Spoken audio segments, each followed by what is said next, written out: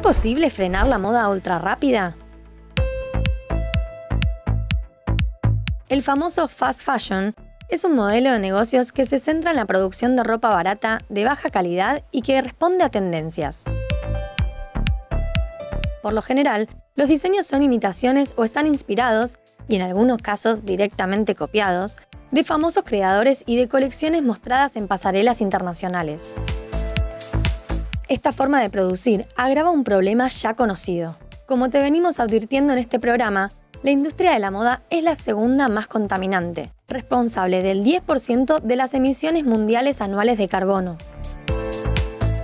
Para mantener el precio bajo, las prendas se elaboran a menudo con materiales como el poliéster, una fibra sintética fabricada a partir del petróleo, que puede tardar unos 200 años en degradarse.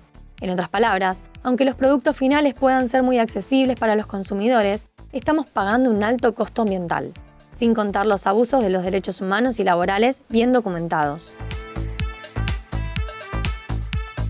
Francia es pionera en intentar poner un freno a la peligrosa costumbre de usar y tirar. Un proyecto de ley pretende sancionar a los productos de moda rápida que provienen, en su mayoría, de grandes corporaciones chinas que tienen facilidad de entrega en todo el mundo. En efecto, la empresa Shane pone a disposición de los usuarios franceses unos 7.100 nuevos ítems cada día en su portal.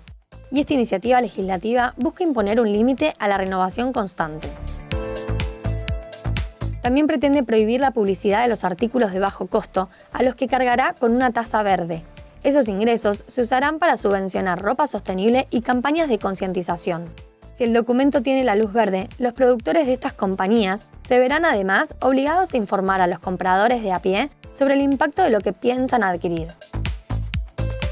Se trata de un gran paso para reducir la huella ambiental en un sector crítico. Ojalá prospere y, por qué no, lo repliquemos. Es posible.